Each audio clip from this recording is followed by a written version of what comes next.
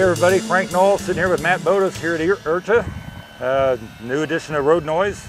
Wanted to pull Matt aside and uh, kind of talked about uh, his history in, in RC and helicopters. Everybody knows him. He's uh, kind of one of the, uh, the legends, so to speak. Not to mention a pretty good track athlete and, and uh, in, in college and My old days. in right? your old days, yeah, real old days. Yeah. So anyway, uh, as I mentioned, Matt owns Synergy Helicopters. Um, you've introduced a new one this year, the, uh, the 766. Synergy 766. Yeah. Tell us about it a little bit. Well, it's a it's kind of a three-in-one helicopter. You can configure it as a 700 class, a 750 class, or an 800 class. Oh, great. Uh, yep. So you can take all your equipment out of your 700 class and immediately throw it into a 750 class, which is much bigger, much more stable. Uh, you can see it better. Very robust helicopter. Oh, good, good. I know it's got drawing a lot of interest.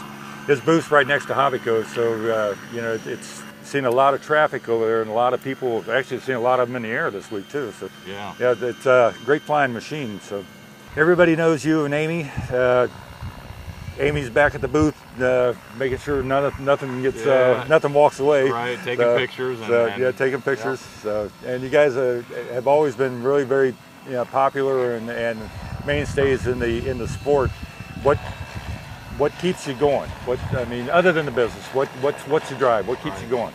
I think it's a it's a passion for the hobby. I've been in RC since I was 13 years old, flying, you know, garage sale airplanes. You know, my Yeah. first airplane, my father and I found at a garage sale. It had, you know, it looked like a little blue Cub.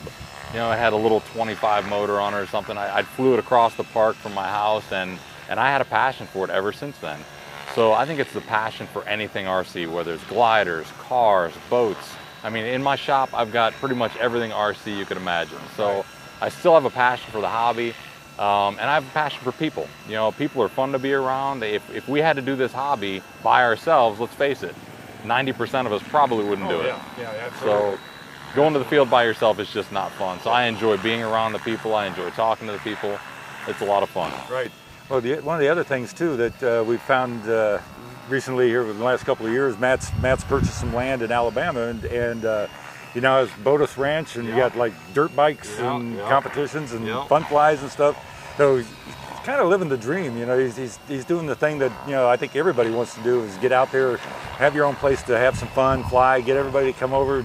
You know, you, you can host your own parties. So That's it. yeah, it's, it's uh, I think that's kind of cool. I mean, you're, you've got yourself in a situation I think a lot of people would like to be. So, Yeah. but uh, yeah, it's it's we're uh, we're having a ball, and uh, today's uh, probably the most uh, enjoyable day weather-wise. So it's kind of kind of nice to be able to get out and not sit here and suffer looking for shade all the time. So, Yep.